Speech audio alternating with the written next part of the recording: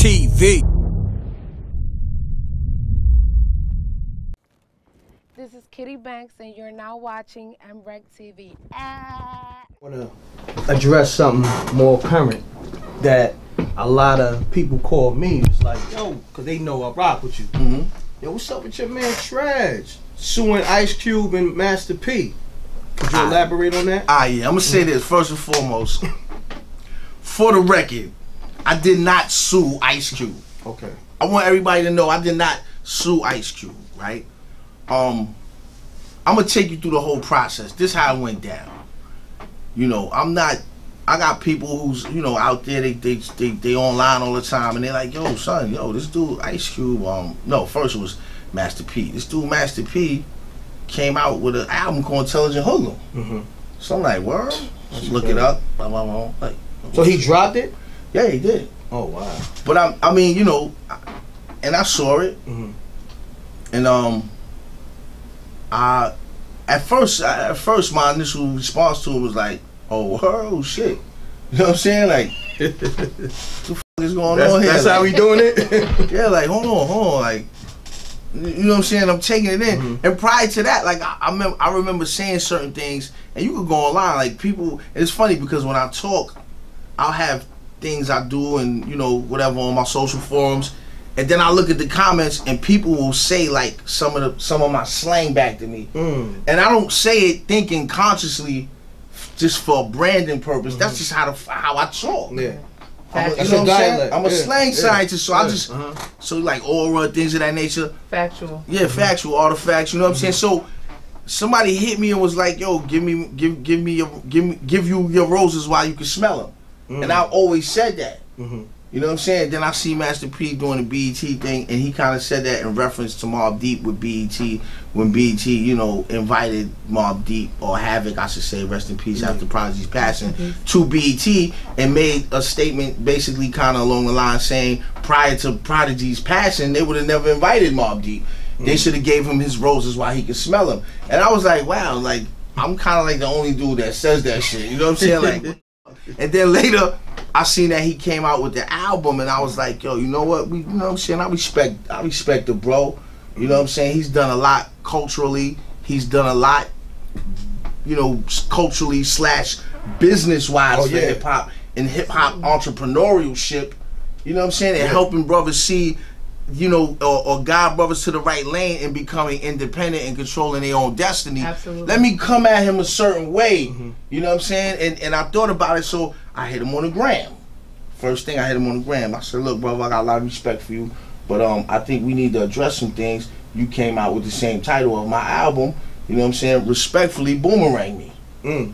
You know what I'm saying? Absolutely. just just like Yeah. that. You me. So you know, he had the blue light on the joint, so I know it's officially him Mhm. on the gram. Yeah, the and I ain't hear nothing back. guy. Yeah, the blue. Yeah, factual. The- I, I heard. I ain't. I ain't hear nothing back. I waited like four or five months. So you did he read the message? Do you see?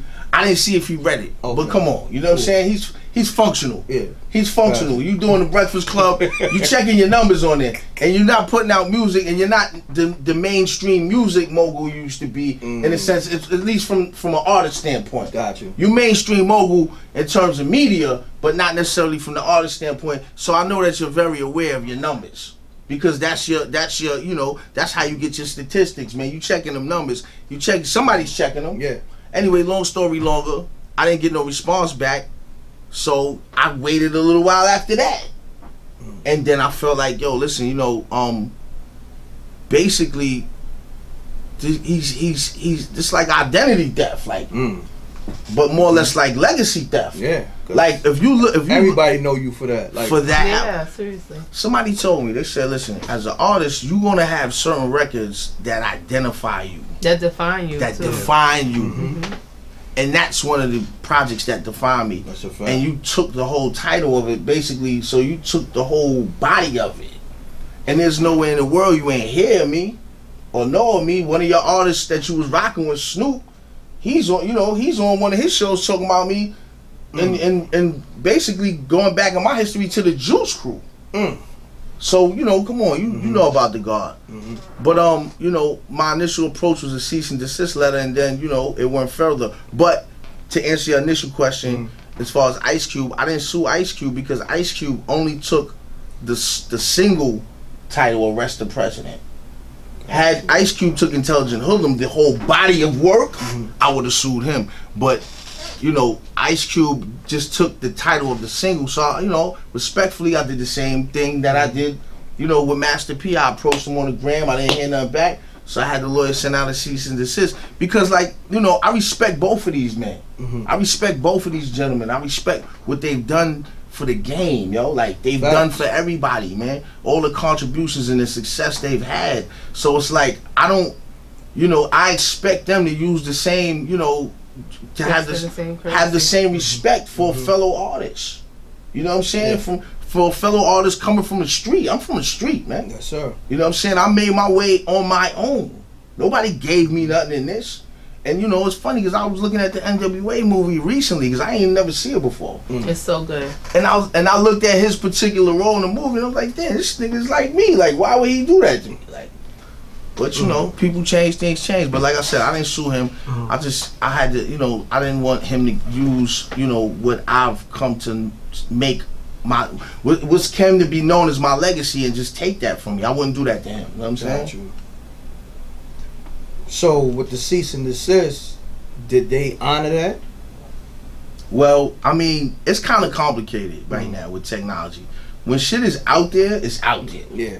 Especially You know, with this internet. Yeah, that's what I mean. Like it's out there, but um, as far as from what my attorney has said to me, like it's being respected, it's being you know, it's it's it's adhered to. But I mean, like like with, with the internet, once shit is out there, it's out there, man. It's it's you know what I mean. But that was just basically you know a warning, like you know, fall back on my Yeah. shit, like you know what I'm saying. It has some respect. Yeah, you got your Yeah. feet. Come on, man. Because at the end of the day, when you Google intelligent hoodlum, Master should come up P, but Master P is gonna come up first. right, which So is you- taken away you- from you- your fan base. You and your slighting my, legacy. you redirecting my traffic, doobie. Like, come on, that's, I'm not gonna come out with like, m- you It's know, legacy thing. Mr. Ice Cream Man. I'm not gonna come out with, you know what I'm saying? No limit. Like, that's you. Mm-hmm. You know what I'm saying? It's me, that's you. But respectfully, And you I- know, and I at the like same time, it's Master a, I love, I love the brother. I love what he did for the, Yo, love the, the brother and, and, and and I love how he approaches things like outside of what he did in terms of my my lane, but Mm-hmm. I love how he approaches things business wise and what he you know the, the the challenges he puts out there for athletes and artists. Yeah. You know what I'm saying? And the financial awareness he puts out there Mm-hmm. and the financial intelligence he puts out there. I respect all of that. Yes, That's sir. wealth. That's great. Yes. But let's keep it, you know, let's keep it gracious all around the ball. You know what I'm Mm-hmm. saying? You're a stand up dude. If you straight up and down six o'clock, you can't be, you know, you can't have an hour, you know what I'm saying, the hour hand off a little bit. It gotta be straight up and down six o'clock. So fact. you know what I'm saying? Respectfully. I'm on MReck TV right now. We got the bro, we got Shoe Banger, we got Big Steve behind there on the on the eye and everything. Everything's gracious, man. Good energy, man. and let them know what we doing here. But yeah, we here right now because we actually this is gonna be the first official guest for the True Era podcast show. You know what I'm saying? And um True Era basically like we we like to focus on individuals, whether that be in music, um, sports, acting, whatever fashion, who shape and basically influence a particular era. And I wanted my first guest to be the bro, you know what I'm saying, MReck because of the history we have and what I've seen him do basically Thank on you, his my own from the Thank ground up with media. You know what I'm saying? And um it's interesting to me and I know it'll be interesting out to the viewers. And of course we got Shoe Banger the co-host. And it's gonna be the first official show. That's what it is, but I appreciate y'all having me, the first official guest. Salute. Welcome. That's what it Feel is. privilege. So, double deuces and bubble gooses. We gone. MReck TV. MX TV, peace. Peace, world. To promote your music or promote your business by placing an ad on MReck TV, contact MReck TV Promo, M R E C K TV Promo at gmail.com. Peace. Oh, yeah. Subscribe to MReck TV, youtube.com slash MReck TV. I'm gone.